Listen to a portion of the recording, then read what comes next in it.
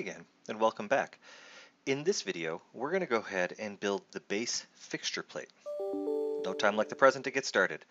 Let's right click in space and choose in place part.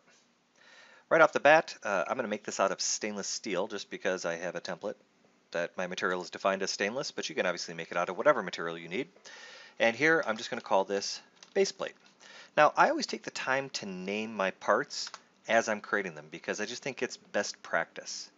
So to begin with, what I'm going to do is I want to offset a plane down from this level. Okay, and what I'm going to do is just right click right there and choose offset plane. And I'm going to flip this to go down the other way and I'm going to offset it down a 16th of an inch. Looks good. And I'm going to use that plane to start my sketch on.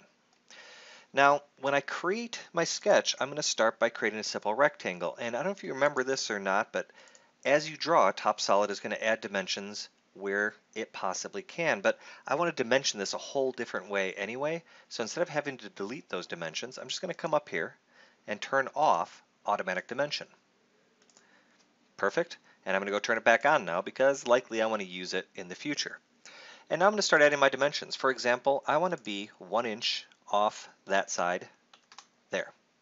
I want to be an inch and a half off of that. And I want to be one inch off this side.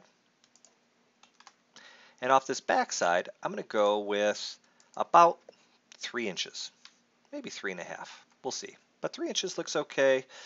You know what? Let's make it uh, let's make it four inches for now. And now I'm just going to extrude this into a shape. And I'm going to go down with this, and I'm going to make this a good inch and a quarter. I think that sounds about good. Maybe we'll go inch and a half. We can always make a make a change to this later if we want. And then we'll go ahead and click OK. Like that, we have the beginning of our base plate. Now the next thing I'm going to do is I'm going to modify the attributes. I'm going to change the color of it because I just don't like gray. Uh, maybe we'll make it that blue and maybe we'll make it nice and transparent so that we can see everything easily as we're working on it. Now I'm going to go ahead and hit save really fast, and then we're going to continue working with this first position. Now in the first position, I'm going to cut a little pocket. Okay, so to cut a pocket, I want to do it from where the material is, so I'm going to choose that face there, create a sketch on it.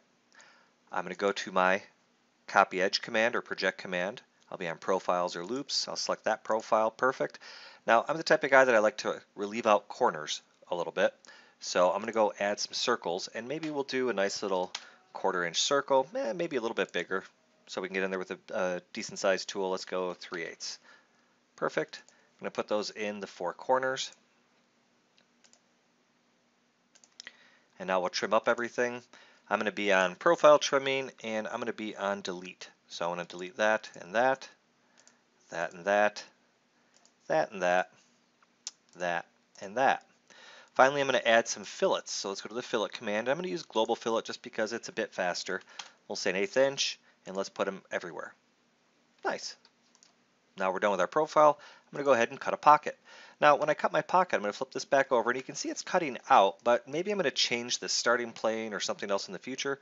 So what I want to do is I'm going to set my limit to be through. So it's just always going to be through in that direction. And like that, my first pocket is complete. And now I'm going to move on and do the same thing or a similar thing over here in this position. Now, what we could do is we could repeat this pocket over to here. Why not? Let's give that a shot. So under my shape tab here, I have a repetition command and I can choose to repeat this product here. I'm going to do this with a simple linear pattern. And what I'm going to do is do distance between two points. And I'm going to say just snap from here to here because those are common objects. I'm going to say it's total distance and I want a total of two. We'll click OK and like that now we have that pocket done. But we're going to do a little bit more here as well. We're going to do a drilling in here because, or pardon me, we're going to go do a drilling back here for the drilling that's going to happen on this operation. Then we're going to come back over to here and we're going to relieve out here because again, remember we're going to be machining the sides of this part as far as we can. Okay? So let's start with the drillings over here just for fun. I'm going to select my face right there and I'm going to build a sketch. You'll see me use this drilling by sketch a lot because it's just convenient. I can snap to the centers of the existing holes. I can come in here and say I'd like to create a drilling group. I don't want the same size drilling as before. I'm going to go bigger. So here I'm going to say let's go with a 3 quarter inch hole, just something that the drill and the chips can fall into nicely. It'll be a nice through hole like that. We're done with that. Next, I'm going to come over to here, create another sketch, and we're going to make some room for the tool that's going to go around this part. It's going to be nice and easy. Again, I'm going to build a nice simple little rectangle and I'm going to do it from out here to in here. And you know what? I'm going to use some different dimensions again. So I'm going to turn off that automatic dimension. Click like that. I'm going to come here and say, you know what, from here to here, let's just make that one inch. That's fine. Gives the tool lots of room. We'll do the same thing over here. I want this to be the same one inch, but I'm too lazy to type it in. So check this out. I'm just going to click on that value and it borrows it. Kind of cool. TopSolid does truly try to make everything as simple as possible. We want you to be able to reuse information wherever it makes sense to reuse information. And again here, let's go with a nice little, I don't know, 437 radius in these back corners there and there. Oops, those are under constrained. Why? Because I made a mistake. I'm going to undo that with Control Z really quick. I had turned off automatic dimension. Perfect. And now we'll go ahead and cut a pocket. Now, when I cut this pocket, I'm going to cut this pocket down. You'll notice it's throwing a fillet out on the outside like that. That's nice. Gets rid of sharp corners. That's cool. And as far as the depth is concerned, I'm going to set my depth to be up to a plane. And it's going to be that bottom face here. And you'll see I'm using something that we call in TopSolid rotative selection. That's holding my left button down, tapping my right until I get to the face I want. And I want to do it with an offset, going down another 16th of an inch. Perfect. Now we have everything that I need there. Next, we're going to go over to here and we're going to continue down this process. So I'm going to cut a pocket, I'm going to build a boss. We're going to have lots and lots of fun. So let's start with maybe a boss. I'm going to go here and make a quick sketch. And you know what? Maybe my boss just needs to be the size of this shape down here. So why not borrow that geometry? I'll again go to project and I'm going to choose that profile. That's perfect. We'll click OK. And we're going to go ahead and add this as a boss. And that boss is going to terminate, again, up to this plane right here. And again, you can type the values in, but by being a little bit more intelligent with our selections and relating objects like this, again, if a design change happens, it pushes through automatically everywhere. Next, we need to cut a pocket. So let's go cut a pocket. I'm going to go ahead, select this back face here. We'll create a sketch right there. And now here we got to be a little bit more creative with our pocket because we have to cut our relief out this way. Okay, so let's have a look. I'm going to start by making my little rectangle as usual. And then from there, we will go ahead and add our reliefs. So I'm going to make my little rectangle. Oops, I forgot to turn off the auto dimension. That's okay. I'm going to bring this right up to that edge. I'm going to bring this right up to that edge. And you should be noticing, by the way, the just the super dynamic nature of TopSolid, how easy it is to use simple drag and drop to add these types of relationships. Now here I'm going to go ahead and add, again, that relief there and that relief there.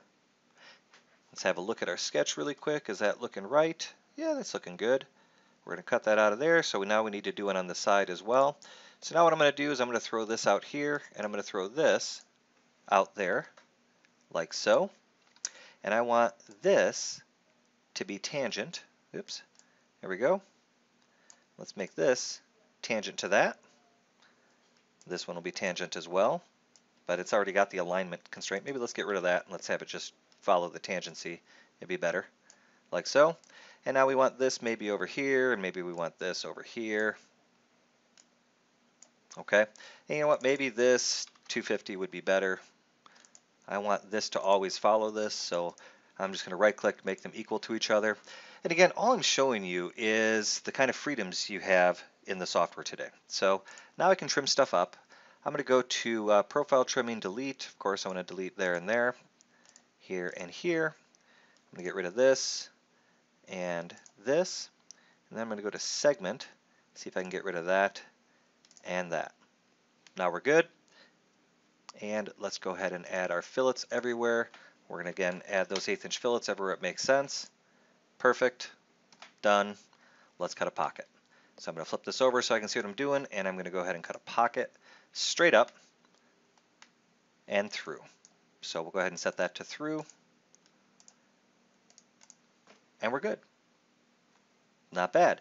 So we have one more to do, which is this side over here. Should be pretty straightforward.